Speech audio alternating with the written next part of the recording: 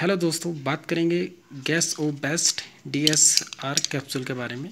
बात करेंगे क्या इसके यूज़ है, क्या साइड इफ़ेक्ट हैं, क्या इसमें कंपोजिशन पाया जाता है किस किस बीमारी में gas o best D S R capsule का इस्तेमाल किया जा सकता है, ये सारी जानकारी मैं आपको इस वीडियो के माध्यम से देने वाला हूँ।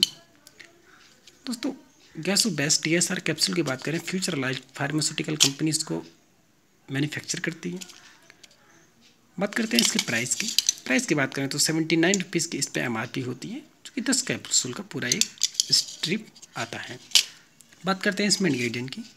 कौन कौन से इन्ग्रीडियंट इसके अंदर पाए जाते हैं? इन्ग्रीडियंट की बात करें तो पेंटोप्रोजोल फोर्टी एम जी दूसरे इन्ग्रीडियंट की बात करें डोमपरीडोम थर्टी एम जी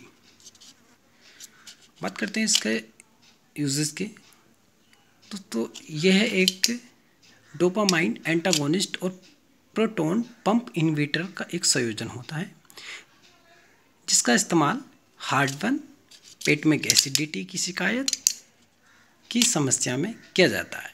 या दोस्तों, आपके पेट में एसिड की मात्रा बढ़ जाती है, उस कंडीशन में भी इसका इस्तेमाल किया जाता है। या आपके पेट में अपच की शिकायत हो, आपका जो खाना खाते हैं, उसका जो हाजमा ठीक तरीके से नहीं हो पाता है तो उस कंडीशन में भी इस Gasobest D S capsule का इस्तेमाल किया जाता है।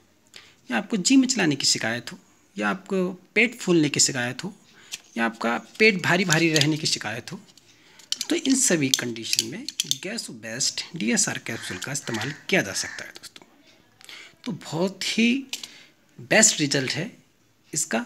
यदि आपको पेट में एसिडिटी की शिकायत हो, आपके सीने में जलन हो, पेट फूलने की शिकायत हो, या आपका पेट भारी भारी महसूस होता हो, या आपके स्टमक में एसिड की मात्रा बढ़ जाए, इन सभी कंडीशनों में इस कैसो बेस्ट कैप्सूल का इस्तेमाल किया जा सकता है दोस्तों। दोस्तों, इसकी डोज की बात करें तो इसका कितनी मात्रा में इस्तेमाल किया जा सकता है? इसकी डोज की बात करें तो निहार मुँह रोज़ का एक कैप्सूल इस कैप्सूल का इस्तेमाल किया जा सकता है दोस्तों। दोस्तों, ये आपको मार्केट में कई नामों से उपलब्ध हो जाएगा दोस्तों। तो ये आपको पेंटोप डी के नाम से भी उपलब्ध हो जाएगा ये। ये आपको पेंटोप डी एस आर नाम से भी उपलब्ध मार्केट में अवेलेबल हो जाएगा ये। दोस्तों, आप किसी भी ब्रांड का डी एस आर कैप्सूल खरीद सकते हैं, जिसके अंदर पेंटाप्रोजोल फोर्टी एम जी और डोमपरीडोम थर्टी एम जी हो।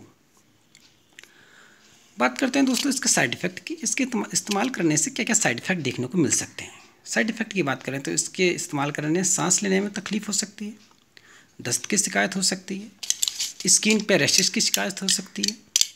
ये सारे साइड इफ़ेक्ट आपको इसके इस्तेमाल करने से देखने को मिल सकते हैं दोस्तों। ये बहुत माइनर से साइड इफ़ेक्ट हैं।